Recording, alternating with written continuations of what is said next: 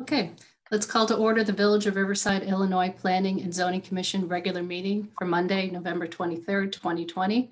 Please call the, call the roll. Chairperson Mateo, I'm here. Commissioner May. Here. Commissioner Marhul, Here. Commissioner Miller, Here. Commissioner Pelletier, Here. Commissioner Matthews. Here. Absent is Commissioner Hennigan. Um, Chairperson Mateo, we do have some formalities we do have to do about this being a Zoom meeting and the governor's orders and all that kind of stuff. If you're okay with me taking us through that. Please do. Okay. So since the governor has um, instituted a public health emergency and has put through an executive order making some changes to the Open Meetings Act, we are allowed to have this meeting conducted electronically instead of in person, um, provided that certain qualifications are made. The first one being that there is a governor's order of the public health emergency. The second being that the village president has made a determination that it is in the best interest in public health um, for us to do these meetings electronically rather than in person. Um, President Sells has made that determination. Therefore, we are having the meeting done electronically. What I do need to do with each of you is make sure that you have heard me and understood me um, so that we can make sure everybody hears each other and then we can continue on with the meeting. So I will call on each of you and ask you if you've heard and understood um, regarding this being an electronic meeting and that you can actually hear me. Again, at the end of the meeting to make sure that you have heard and participated and understood what happened in the meeting. Call on all of you at the end of the meeting again. Pardon me, before we adjourn. Okay, so I will take us through that. So um, Commissioner May, Yes, I heard you. thank you. Commissioner Pelletier, I heard and understood you. thank you. Commissioner Matthews, Heard and understood. thank you. Commissioner Markle, Heard and understood. thank you. Commissioner Miller, Yes, I heard you and I understood. and Chairperson Mateo. Heard and understood. Thank you, everybody. Now we can proceed. So if we're all in quiet spaces, I think it's okay to leave our um, audio on, not having to mute. Um, but if we, if that changes, I might suggest that um, we might need to mute our, our audio. Also, if you look at the upper right of your screen, it should say speaker view. We want to keep it that way. Um, we're actually in gallery view. If you clicked on speaker view, you would go to speaker view. So we want to stay in the Brady Bunch format. Um, so try to keep speaker view up in the upper right corner. All right, uh, we don't have any visitors currently. Um, our board liaison is not here. Um, is there any update from the board? Um, I don't think we've had anything since our last meeting. Um, we, we had the text amendment for the garages and driveways. And so that did pass, uh, the village board did adopt that. So, um, those changes, um, are being codified. And I think that's really the only update I have from the village board at this point. And we wish Director Bailey a happy retirement. Oh, yes. And Director Bailey is now retired. Uh, we have no new business. Moving on to old business, a continued discussion regarding allowing habitable space above detached garages and in coach houses and giving recommendations to the village board. Director Actually, I think we need to vote on the minutes. Oh, shoot. I'm just tearing right through this, this meeting. Uh, is there a motion to approve the Planning and Zoning Commission regular meeting and public hearing minutes of September 23rd, 2020? So moved. Is there a second? Second. Any edits? All in favor? Oh. Aye. Sorry. Aye. Electronically, it has to be an individual voice vote, so I'm going to have to call. Please the- call the roll. So Commissioner May, Aye. Commissioner Marhul, Aye. Commissioner Miller, Aye. Commissioner Pelletier, Aye. Commissioner Matthews, Aye. Chairperson Mateo. Aye. All right, motion passes. Thank you for catching that. If we have another Zoom meeting, I will print out the agenda. We don't go through that again. Okay, now moving on to the old business and discussion of uh, habitable space above attached garages. Yes, so at our last meeting in September, we started talking about allowing habitable space above um, detached garages. Um, this came up at a village board meeting and was presented by trustee Gisa, um, stating that with um, a lot of people being forced to work from home and children being at home doing school, that it might be a good idea to start looking at um, allowing those spaces to be converted above garages or to create additional space above garages for people to have additional home office or, or usable space. Um, the board did express some concerns about enforcement and visitors and home occupations, but they did ask for the commission to kind of uh, discuss it some more and, and come back with some sort of recommendation on it um, to see if we'd be pursuing any sort of text amendments related to this. So at your meeting in September, um, there were some concerns about allowing the some additional um, commercial use of, of the area and kind of enforcement and things like that. And ultimately, um, the commission did ask for a little bit of extra information so we could kind of flesh out that discussion a little bit. Um, so I did provide you with the home occupation and accessory building and garage regulations from LaGrange and Hinsdale, um, as well as the villages regulations. Um, those are two other communities in the area that do allow um, habitable spaces to be built out above um, detached garages, not necessarily as dwelling units. That's not allowed. Um, however, it does, you know, allow for there to be kind of a finished space that could be, you know, additional habitable area. Um, so we have that additional information for you. Um, we did, another question was how many coach houses are there and how many are landmarked? Um, back in 2000, they did an inventory of this and there were 28 coach houses back then. Um, of those coach houses, only 13 of them are actually designated as local historic landmarks. Um, so the rest of them are coach houses, but they don't have that designation. So they don't necessarily have um, the ability by right to have um, a dwelling unit above um, their or habitable space above their, um, their garage in the coach house. So basically what we're looking for from you is to provide us with some feedback on allowing these sort of office areas above detached garages um, and the potential for a text amendment. Um, your recommendation, if you're prepared to make one tonight, would go to the village board and then they would determine whether or not we should move forward with um, a formal text amendment process. Does anybody have specific questions for Director Abt? Sure. Sonia, Director Abt, when there is a coach house that is not grandfathered in and is not suitable or permissible as use as a separate dwelling unit, are there any restrictions on the remaining use, shall we call it, of that space? So that's somewhat regulated by our non-conforming use. So if it's not currently occupied, as a dwelling unit. It's not allowed to be occupied by a dwelling unit, but the area is finished. Um, it has been considered grandfathered in that it's area that can continue to be utilized. However, it cannot be utilized as a dwelling unit. Okay, so it's basic, to, if I can summarize, mm -hmm. it's usable as extra floor space by the primary owner of the mm-hmm. property. Thank you.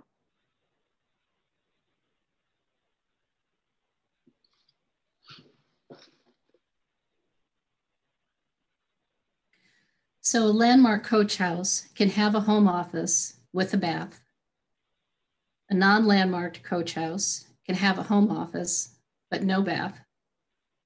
And a garage can have a home office on the ground floor without a bath, but it cannot currently put a home office above the parking area. Correct. So we would allow an addition onto a garage. So if somebody wanted to expand their garage area to create a workshop or a home office area, they could do that. Um, but obviously they couldn't make it into a dwelling unit. So we certainly wouldn't allow a bathroom to be to be added to that area.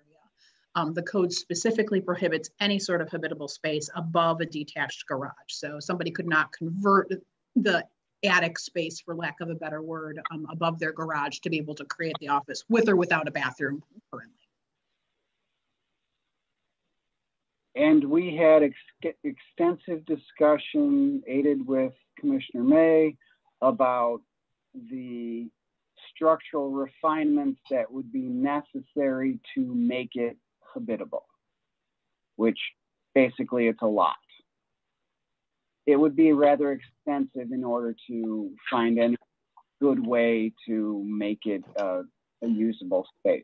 Is that a good summary, Sean?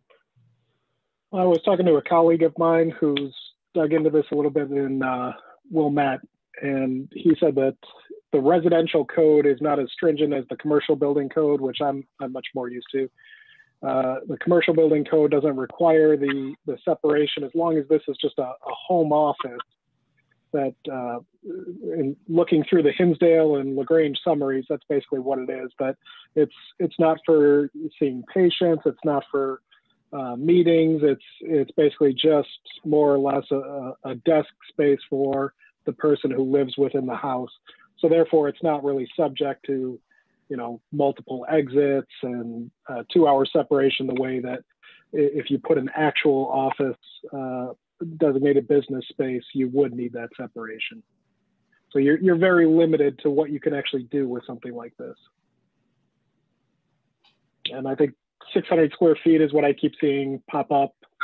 Uh, no toilets, uh, one employee maximum. Uh, it seems like it's it's more or less just an extension of your house.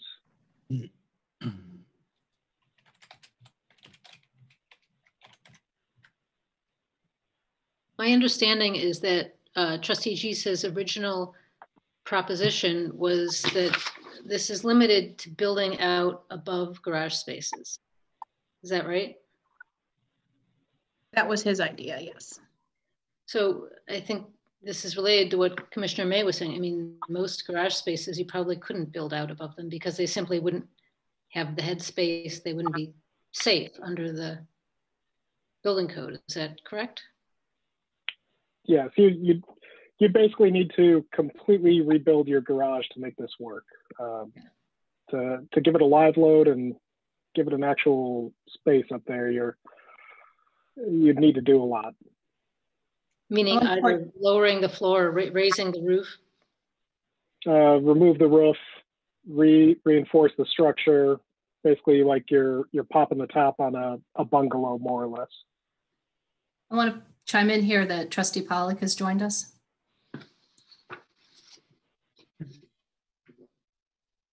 Thank you.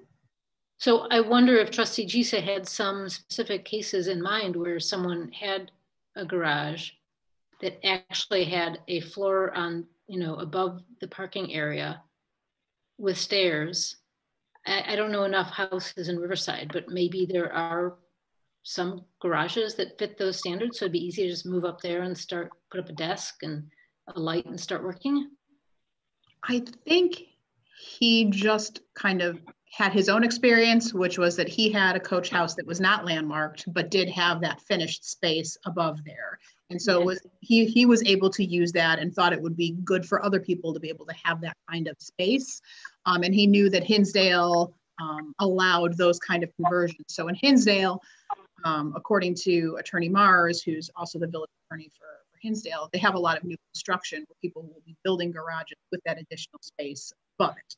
So I think in his eyes was, is that something that, you know, our, you know, residents could be able to do to be able to, you know, provide for that additional space? And would it, you know, and, and some of his remarks were, would it help make Riverside more um, attractive to um, new families, et cetera, looking for, for homes in the village? And would that perhaps increase property values for people if they were able to get that additional space um, above their garages.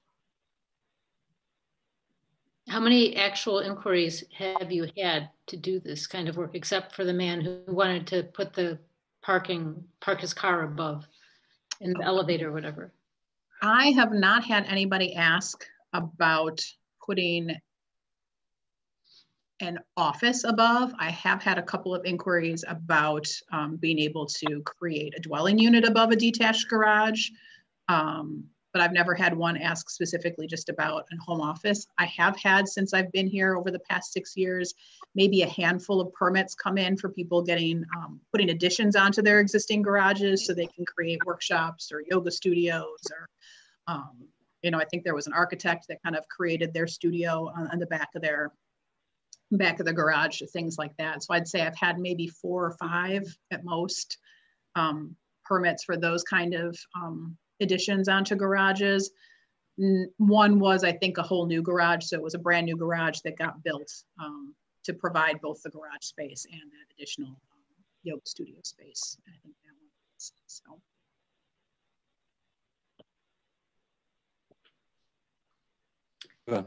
So, John? I, you you know, to me, there's, there's absolutely nothing compelling in this new information that would change my mind from last time. Um, y- y- you know, we're, we're talking about a couple different things here. I mean, first off, if you want to go set up a desk in your garage, you you set up a desk in your garage. You. You, you, you know, you, you might freeze to death, um, but you can do it.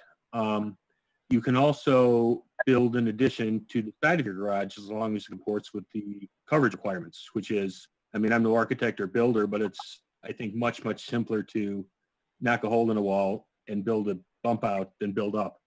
Um, the other issue too, I think that to, to me, the most compelling, well, there's two compelling issues. The, the first is that it would require like more, I think, I mean, maybe just a text amendment, but I also think we'd need to revise the zoning code to allow increased heights on garages for this because there's no way you're going to get in. I mean, I think they're requiring, I, I forget what it is, 16 feet now, maybe. I maybe there's kind of all over the place. I think I am, but it's going to need to be a lot, a lot higher. So there's going to be that. And then the other compelling interest is just, um, you know, the, the, these are going to end up as dwellings. Um, you're, you're going to have people living above garages. And I, you know, people can say they never will. They will. And I, I- just think there's, nothing has changed. I've seen no new evidence that this is a good thing for the village.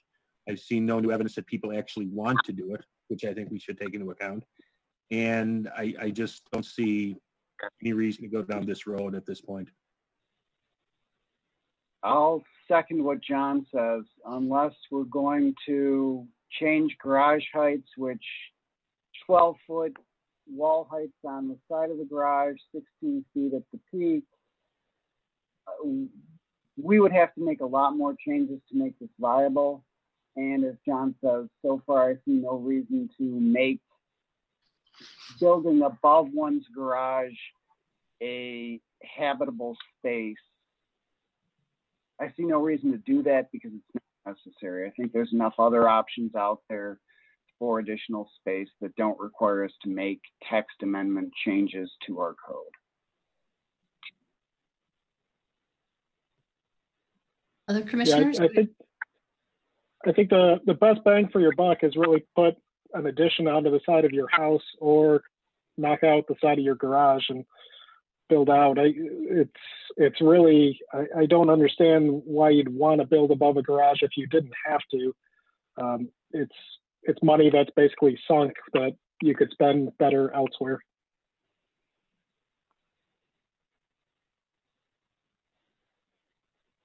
Commissioner Pelletier? Commissioner Miller? Yeah, I don't, um, I don't, I don't see any compelling reason either. Um, in looking at the codes, the different codes that were provided to us, the only real difference I see between ours and either Hinsdale's or LaGrange is that we specifically state that you can only use the area above the parking spaces as storage. The thing that's really limiting is the height restrictions. Um, their height restrictions are maybe a little different than ours, but really not that significantly. So um, I would, I'm definitely not in favor of changing height restrictions on our garages. I don't think we want to start having two-story garages. Um, so I would entertain removing that storage requirement if that, if there are some, you know, cases within the village where that would allow someone to put a small space above the parking spaces. But beyond that, I don't, I don't think that it's a good idea um, to make any other changes in order to accommodate um, a, a space above the garage.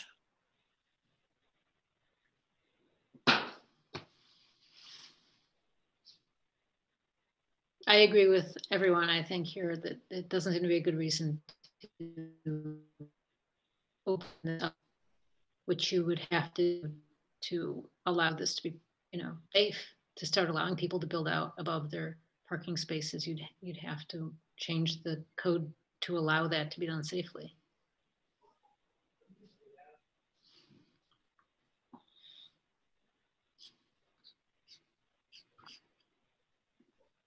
Okay.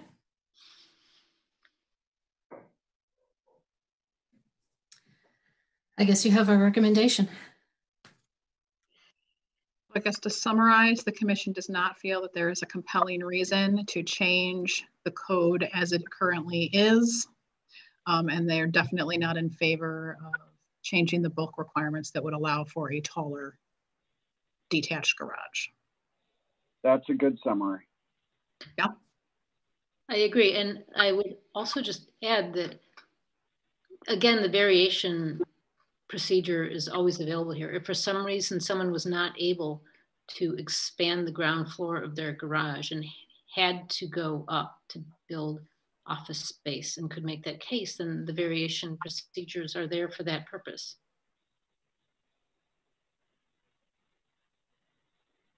That's true.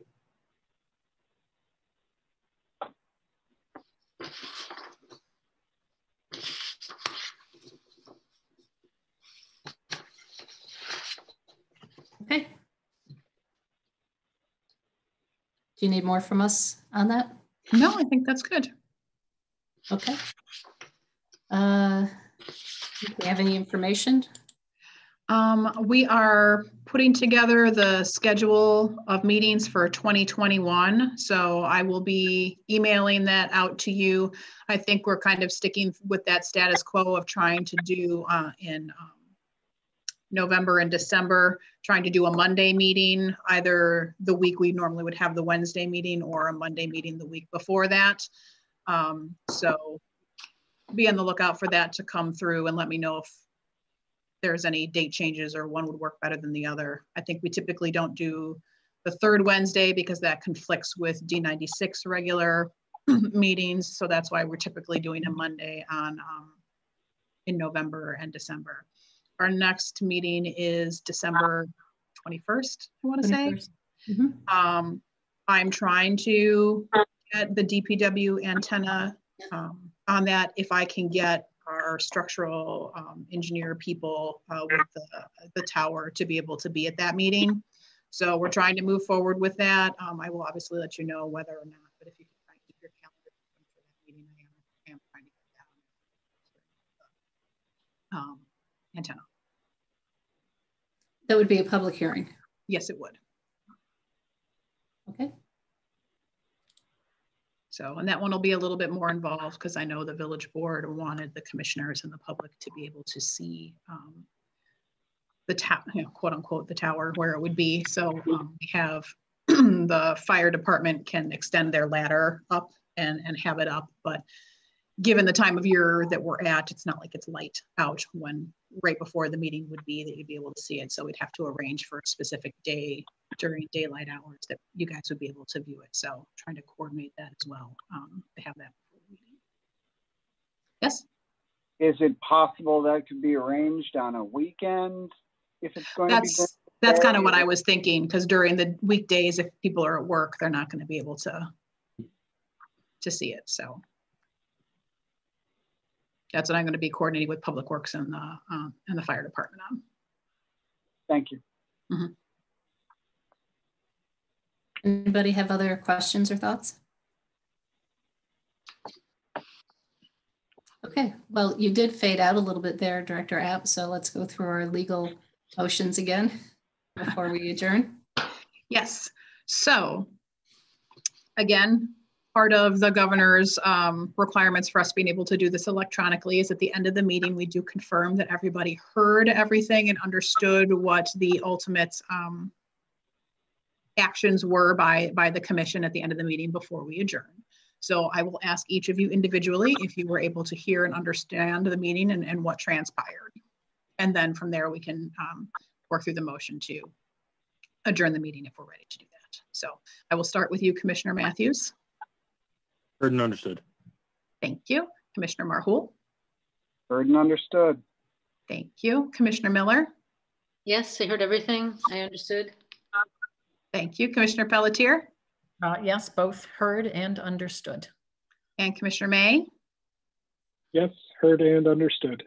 Thank you. And Chairperson Mateo. Heard and understood. Thank you, everybody. Motion to adjourn? So moved. Second? Second, Please call the roll.